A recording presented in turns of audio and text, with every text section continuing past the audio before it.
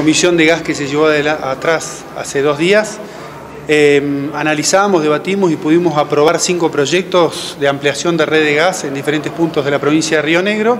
entre los cuales está este, Niriguau. ¿no? Em, estos cinco proyectos, eh, la realidad es que le cambian la calidad de vida a los rionegrinos. Em, uno de esos proyectos es el Maquinchao, en donde va a beneficiar a aproximadamente 300 familias, una inversión de aproximadamente 20 millones de pesos. Em, se llevó adelante también, este, digamos, otro de los proyectos de ampliación de red de gas es en Ramos Mexía, donde se va, va a beneficiar a 45 familias con una inversión de aproximadamente 8 eh, millones y medio.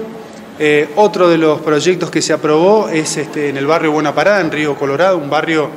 que hace muchísimos años que no tenía gas, este, con una inversión de 11 millones y medio y que va a beneficiar aproximadamente a 70 familias.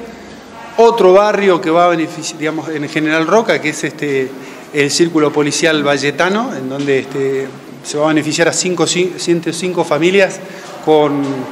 con una inversión importante de aproximadamente eh, un millón de pesos, porque ahí se hace todo lo que es la prueba de hermeticidad y una reconexión de gas. Y bueno, y uno de los proyectos sumamente importantes para nosotros, los que somos de la zona andina y que conocemos el lugar, eh, es el que se pueda em, beneficiar a 148 familias de acá a 160, 180 días, que es el plazo de ejecución de la obra,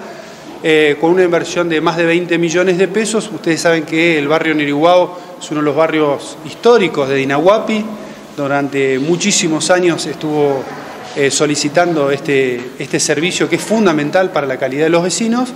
este, y un barrio que fue el primer barrio de Dinahuapi, es decir, este, eh, comenzó, digamos, y se inició alrededor de lo que fue la estación de trenes del ferrocarril allá por el año 1930. Así que, si Dios quiere, este, en 180 días va, a estar conectado lo que es el troncal de gas y que ya los vecinos pueden ir avanzando, porque si, bien el plazo de ejecución es de 180 días, ya los vecinos pueden ir avanzando en todo lo que es este, eh, la colocación y, el,